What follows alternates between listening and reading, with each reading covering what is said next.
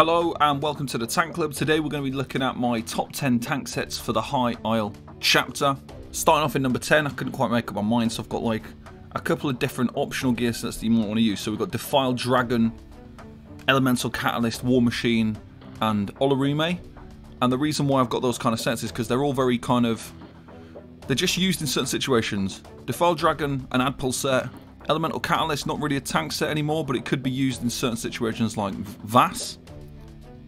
War Machine, again, not a widely used set, could be used for dungeons, could be used again as the off-tank Vass, and Olorime is a good dungeon set if you've got no healer, and also sometimes in certain trial situations. In number 9 we've got the Master Sword Board, the Puncturing Remedy set. This is a wonderful set in terms of self-healing, so this can be used in so many different situations because we've got so many gear sets as a tank that can be used on one bar. What that means is we can use the Master's one-handed shield, and this is great for boss fights where you're taking a lot of damage, where you want to push to the resistance cap, you can do it without needing the use of reinforced gear and going with the Lady Mundus Stone and things like that. You just go into the resistance cap with the Master one-handed shield. So it's a really good set and it's really good for high damage situations. Definitely pick that up from Dragonstar Arena. The Worm's Raiment set, the Worm Cult set, this is a wonderful set as well for especially newer groups. It's somewhat easy to farm. It comes from Vaults of Madness. It gives you so much sustain and it gives you group sustain as well. So any kind of time you as a tanker progressing new content, you want to be using this. If your group's progressing new content, you want to be using this. A lot of the time in those newer groups where if you're in a new environment where people aren't really confident and know what they're doing, then Worm Cult is very helpful. Having sustain means that people can output more DPS because they're not having to heavy attack as much as a tank. Having more magical recovery is fantastic as well because we're able to cast more spells and more skills and more healing and more shields and things like that. So it's a good set all round for that kind of environment.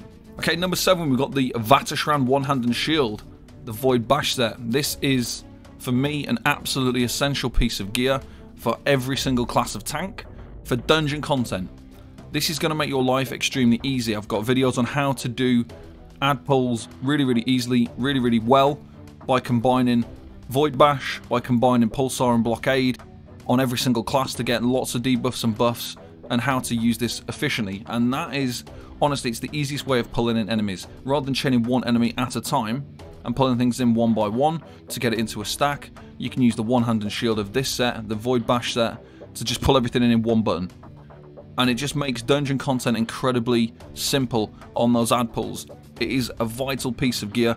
It saves you so much time and effort and resources by just using this wonderful piece of gear. So this is the Vateshran 100 Shield, the Void Bash set. Number 6 we've got Saxhleel Champion. Still a decent set. I don't like it as much nowadays. I think there's other options that I prefer personally. But it's still really, really strong, and there's definitely certain situations where it's much better than other gear sets. So the first one that springs to mind for me is definitely things like progression runs of VCR. So when you're doing Cloud Rest as like progression runs, the fact that you can like barrier through that and use sacks can be a good option. Other situations such as um, Asylum Sanctorium, again, one of the reasons you'd use it there is because you have a low major force uptime in general, so having a higher major force uptime is obviously very beneficial to your group. Having major force with a higher uptime is the reason why we'd use sacks now. It's because we need that higher major force output that we would get from sacks. Now some problems you can get though is you might as well just use a horn if you're using turning tide and you're not getting um, you're not using your ultimate with more than like let's say 250, you're not really going to benefit from that much more major force. So some arguments will be that sacks will provide a higher major force uptime for a group, but on the flip side, if you're using your ult on cooldown, then you're not really going to be getting more than you would have done with a horn anyway. So you kind of depends on your group. It is a very good safety set, so you can use sacks with barriers to get through content if you are in a new progression beginner group or something like that. So it's going to help you get through that content. So this is a good set to provide protection but also provide additional damage and in groups that are able to really really build ultimate fast if you're somebody who can build ultimate very very quickly and you're using sacks then it could help boost your group's major force uptime as well next we've got crimson oath and this is somewhat a decent set. It really depends. If your group's got somebody using Alkosh, then you won't need it for boss fights. Crimson has a range of functionality. It's good for ad pulls. It's good for people who are new to tanking and maybe don't keep a good uptime on their infused Crusher enchant.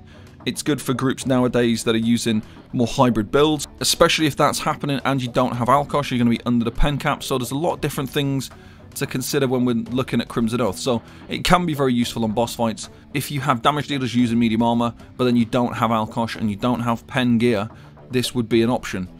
When there's multiple different ads to deal with, again, it can be a very good option. Ad pulls, it's great.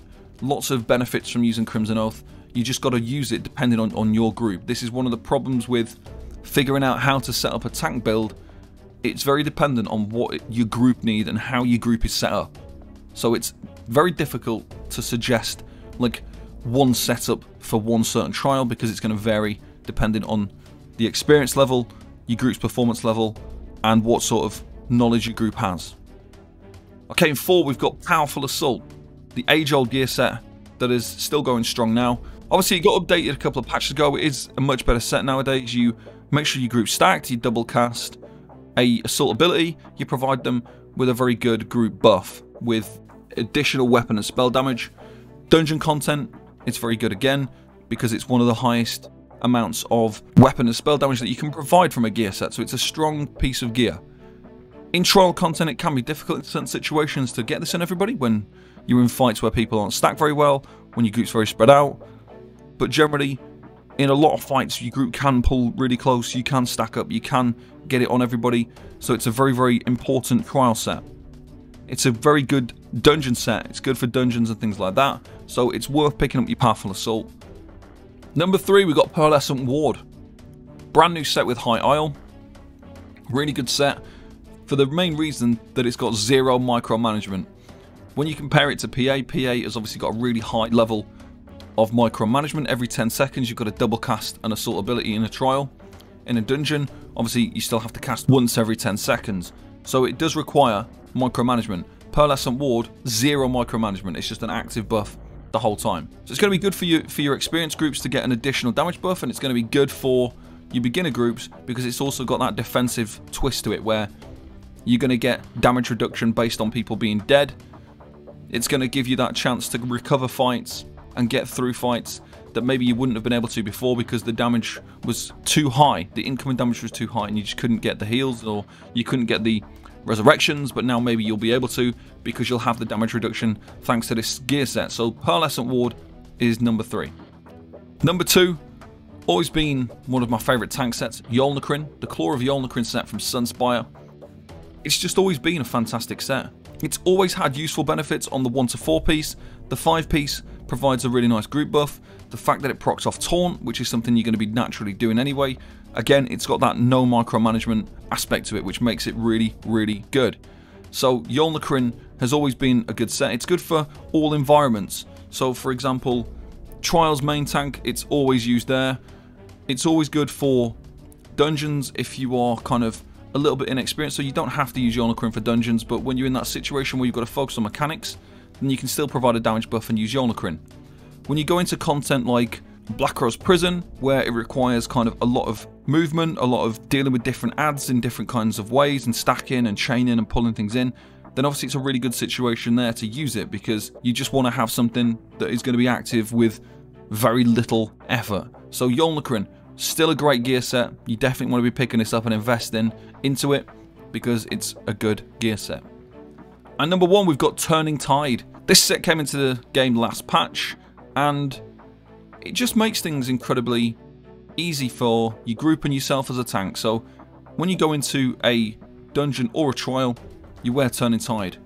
On the ad pulls, you have it active on every single ad pull. So you walk into an ad pull, you proc it, on the stack, everything has got major vulnerability.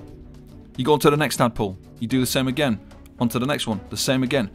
It's very consistent. It means that you don't have to have people trying to rush to build ultimate. You, you Damage dealers can use other ultimates instead of a Colossus. It's very consistent in that regard. When you get onto boss fights, it's good on most boss fights, but not every boss fight. So when you consider something like Asylum Sanctorium, you can be 20-30 seconds without being hit and that can create a problem where you're not able to proc it and not able to put it on the boss. So in that situation, it's not always good. Could still be used by groups with no necros, but typically in that situation it's too unreliable. But then there's other situations, or should I say most other situations, where you can activate this on a boss very, very easily. And you can also maintain a very high uptime, especially in combination with Warhorn and Nazaray. So you combine the three things together and you're able to get huge uptimes. And it just means that you might only need one Colossus. If you are very, very good at using this set and timing it, you'll need zero Colossus. As long as you're able to build Ultimate fast and combining it with that Nazaray. So it's a really good tank set just because it's providing that major vulnerability on every single ad pull. In dungeon content, it's the same story. You walk into an ad pull, you can proc it. It's the same for Black Rose Prison. You chain everything in, you proc it. It just, it's always there.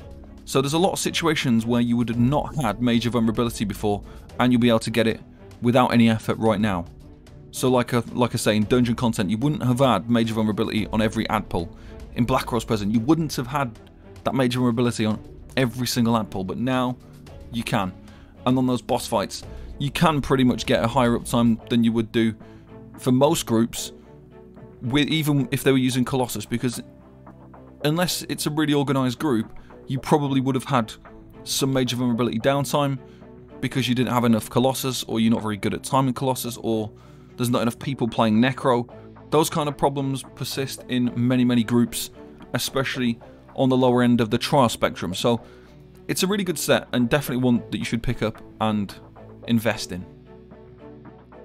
So that is my top 10 gear sets for High Isle.